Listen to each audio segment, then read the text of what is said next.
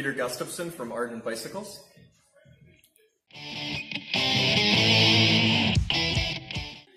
Uh, I started racing BMX when I was really young.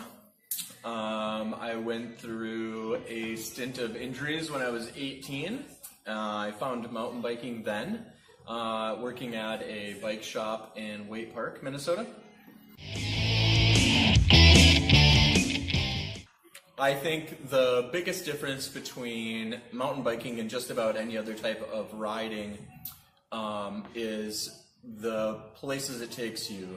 Um, not that a road bike can't take you anywhere uh, or that it's not uh, beautiful in itself, but uh, mountain biking takes you out into the middle of the woods um, to the tops of mountains um, that most people, I guess, don't uh, normally see.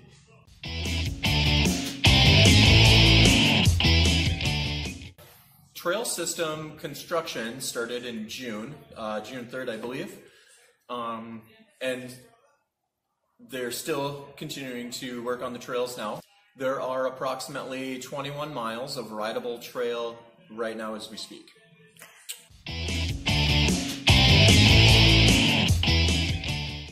Currently in the Tioga Rec area, there are everything from green trails uh, that are three feet, four feet wide, uh, low undulation, uh, wide open corners and sight lines, to double black diamond advanced um, jump lines um, for very experienced riders only.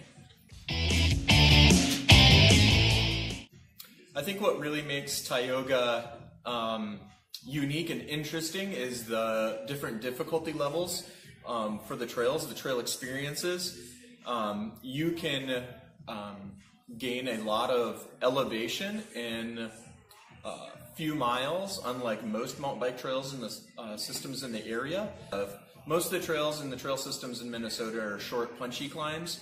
Uh, here you can gain a lot of elevation pretty quickly, um, not and, and, longer sustained climbs. A lot of lake views um, also make Tioga Rec area unique. Uh, lake Pokegama, uh, the Tioga Mine Lake itself, Lake Kavanaugh,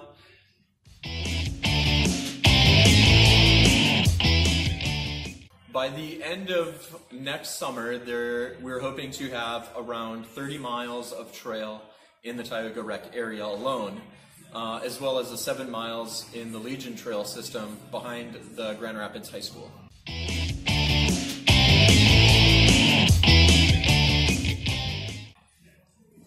I believe that most uh, visitors coming to the Grand Rapids area to ride the Tioga Trail system are going to find uh, a real mountain bike experience here.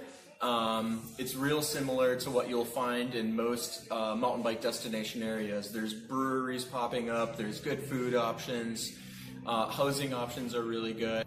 Beautiful scenery year round, whether it's spring, summer, fall, winter uh, as well as, many other things that uh, you can do. You can spend a week up here easy.